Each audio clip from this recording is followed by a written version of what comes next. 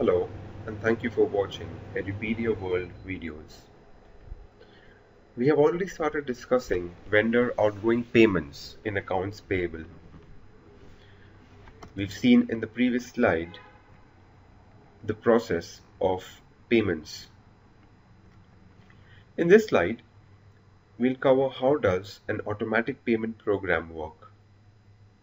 This is not at all specific to manual payments. This is only for automatic payments which can be done in the company either on a daily, weekly or a monthly basis. There are a couple of things which need to be entered as parameters at the start. We first have the payment ID and the payment date which is always unique to every payment run.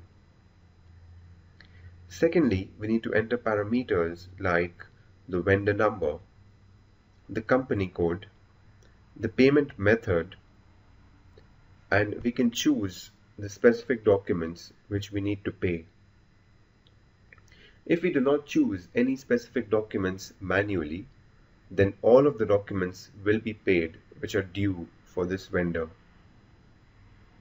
We should also enter the due by date which will provide an indicator to SAP which documents need to be picked up which are due on or before the specified date. Once these parameters are entered and saved, we then have to run a proposal. A proposal is basically a trial run which gives you an idea of the different vendor invoices which are going to be paid the total amount which is going to be paid. You can also edit this proposal and choose if you want to block or unblock any specific invoices to be paid. You can display a log of all the different kind of invoices and the different amounts which are going to be paid. And finally, you can also delete the proposal if you want to make any changes in the first step for entering any additional parameters. But if you're happy with the proposal, then you move ahead to the second and the last step, which is the payment run.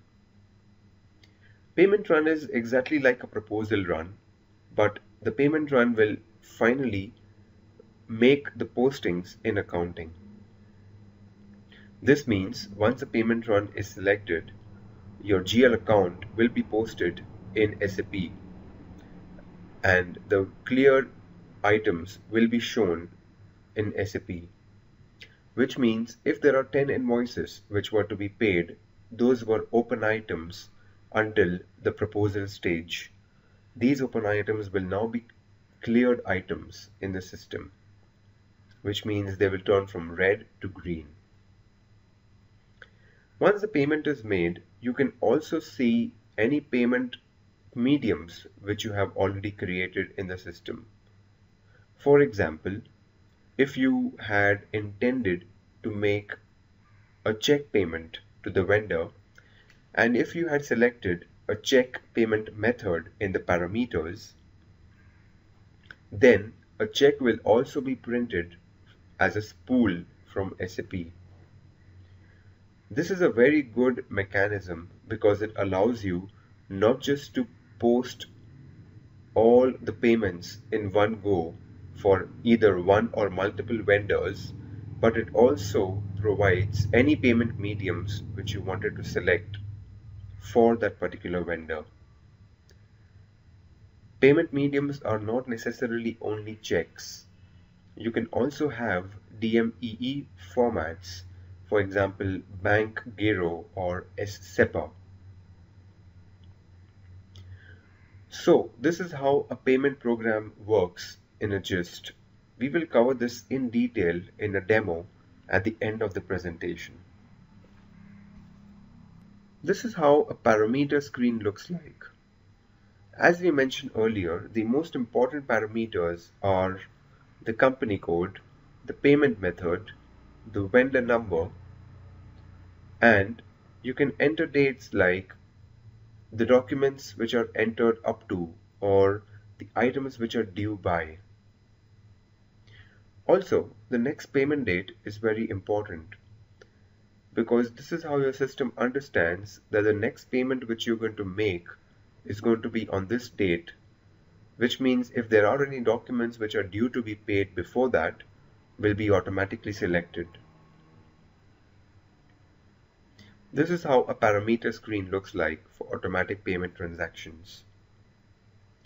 The next tab called free selection will give you the option of entering any specific documents which you need to pay. A partial payment is done when a payment is made for less than the actual amount which is outstanding. Which means if there are there is an invoice of $100 for the vendor which is due to be paid, but you only intend to pay $80, then that will be a partial item. The original open item is cleared and a new open item is posted by the system in this case. And the new open item is for the same amount as the original minus the amount which is paid. Payment differences. So the invoice value will be compared with the payment value in every case. And if there are any payment differences, then these are either separately posted to a GL account if they are under a tolerance limit or you will get an error if there is a big payment difference. Clearing. Clearing is a process of converting your open items to cleared items. And this happens when your payment matches with the vendor invoice or your payment matches with the vendor down payment which you've done earlier. There are two ways to clear an account. One is to post with clearing and that is in cases where vendor issues a credit note for the offsetting invoice. And the other way is to clear the vendor account by manually purging the account. And thus clearing can be done either manually or automatically. Automatically is when you make an automatic payment in the system as we saw in the previous slides. Posting payments with a clearing document.